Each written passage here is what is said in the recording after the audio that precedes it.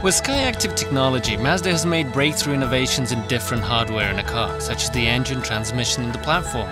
The thing is, none of us ever gave a thought to creating synergy between those hardware to optimize cars' total performance and let each car unleash its full potential.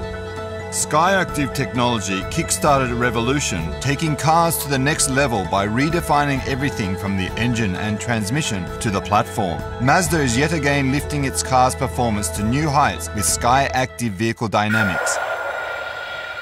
Skyactiv Vehicle Dynamics is a system for amplifying what we call Jinba Ittai, realizing a sense of connectedness between car and driver like never before.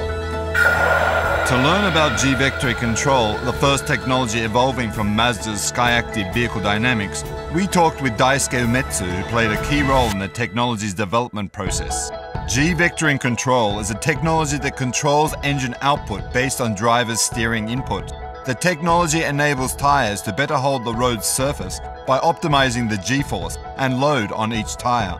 So the vehicle's behavior becomes more stable and precise in all circumstances and conditions. G-Vectoring Control connects cars' maneuvers with drivers' motions and feelings and delivers a better controlled and harmonized driving experience on the road. How did Mazda come up with G-Vectoring Control?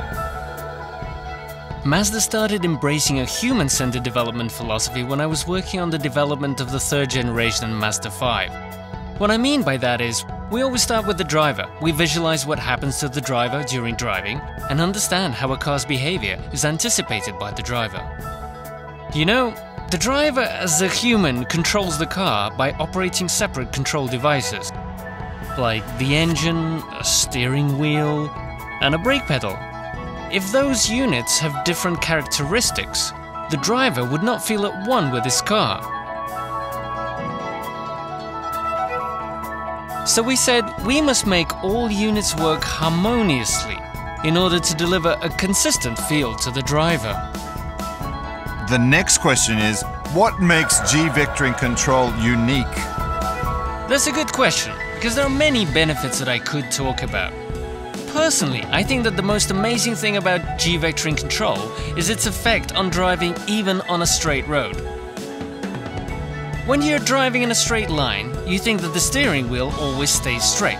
But the reality is you're making subtle adjustments, even without noticing it. G-vectoring control ensures that those subtle adjustments don't affect the car's track on a straight road. The steering feels assured, so your natural response is to adjust less. You get a direct feel from the car, a feeling of being at one with your car, so you feel more confident and relaxed behind the wheel. It's not just about the driver, but about everyone in the cabin. To me, the greatest benefit of G-vectoring control is that it instills a sense of trust in the car.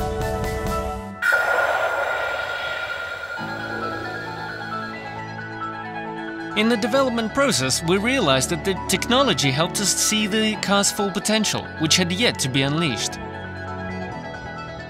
Autonomous cars may penetrate the market in the future, but all of us at Mazda will continue to pursue Celebrate Driving by focusing on the human-centric approach. Thanks to G-Vectoring Control, everyone at Mazda knows that cars still have room to evolve further.